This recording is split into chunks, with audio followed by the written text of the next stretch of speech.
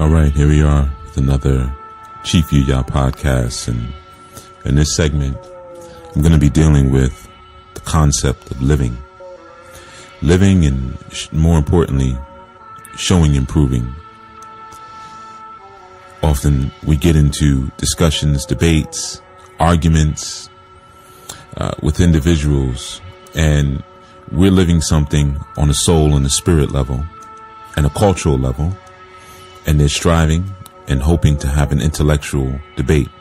And it's two different dimensions that we're operating out of. So in this segment, uh, very similar to the segment where we dealt with building, we're going to deal with living, how we're living and how we're adjusting our lives. All right.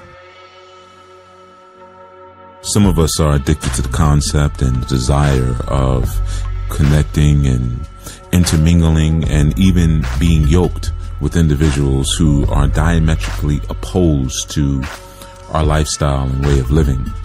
And there's a there's an extreme sense of narcissism in that where sometimes we want to connect with people who are clearly opposed to the righteousness and the light that we've decided to live out and to explore.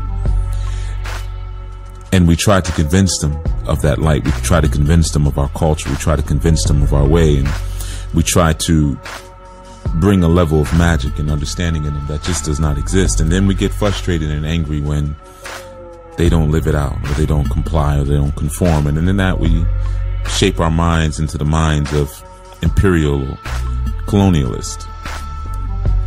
So when we're living, when we're living something, we gain a different kind of understanding. Remember, it's knowledge, wisdom, and understanding. Knowledge is the light, and you can know something, but you will have no wisdom of it. You'll have no if you enjoyed this clip, you can listen to the full episode at chiefyuya.com. That's C H I E F Y U Y A.com. You can also follow me on major social media sites and apps using the social media handle Chief Yuya.